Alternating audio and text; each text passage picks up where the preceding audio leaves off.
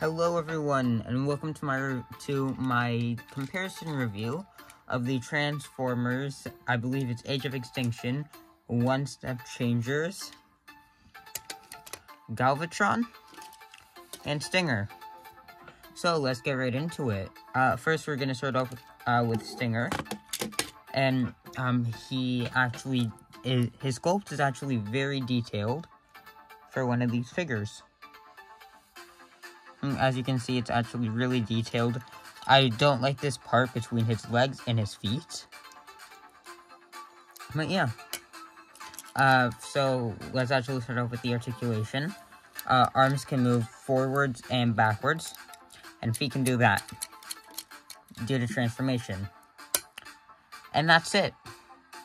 Um, for comparison, we have the War for Cybertron Earthrise uh, I think it's Earthrise. I don't know. It might be uh, Kingdom, but the uh, what's it called? But the uh, Seeker Conehead mold and Sandstorm.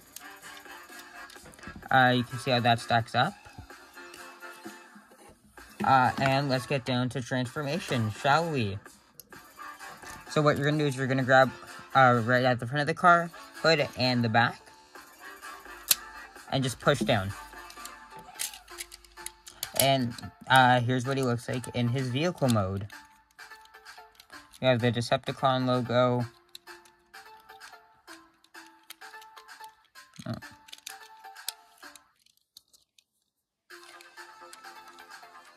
Um, so that's what the mold looks like. He rolls fairly well. Uh, and for for vehicle mode comparison, here he is with uh, Earthrise slash Kingdom RC. You can see how these stack up.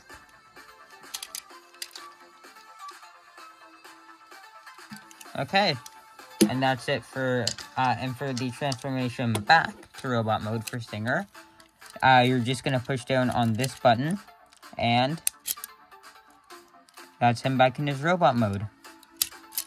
So, let's move on to Galvatron now, shall we? So for Galvatron, here's what he looks like. Uh, for uh, the mold, actually, uh, the sculpting on the mold does look really good. So, uh, that's what he looks like. Let me see if... Here, let me zoom in on the head. So, yeah, that's the head sculpt. For articulation on this figure, you have the arms, and that's it. You just have the arms, can move forwards and backwards. Um, for uh, comparison for the height, uh, here is the cone, here is Sandstorm. Let me zoom back out for this. So that's the size difference, it's pretty large. And uh, for his transformation now, uh, you're gonna push down on this back panel and you're just gonna rotate until he's in his truck mode. Which again, the detail on this is, we zoom in again, very nice. Now the nice Decepticon logo right there. And yeah, he rolls fairly well. And for comparison, here he is with Stinger. There's a comparison for the two. And here he is with RC.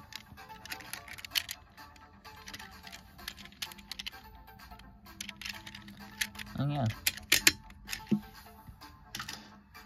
Now for my thoughts on the figures. Um, they're pretty much the same. If you want an easier transformation that won't transform itself back, go for Galvatron. Uh, if you just need it to go for the collection and uh, you just don't want it to have a monstrous backpack, go for Stinger because that's the backpack on Stinger and on Galvatron. It's that. So if we just transform them back. So uh, it's really just up to you. They're both about the same. Um, they came out at the same time, and anyways, that's it for that. Uh, I hope you guys have enjoyed. If you have, please leave a like on the video and subscribe if you're new. Uh, and share the video with anyone who would enjoy. And leave a comment down below uh, about your opinion on my reviews. And uh, so far, how I can improve. And about the figures. And I want your opinions about the figures, is what I mean by that. Uh, so I hope you guys have enjoyed, and I'll see you all next time. Bye.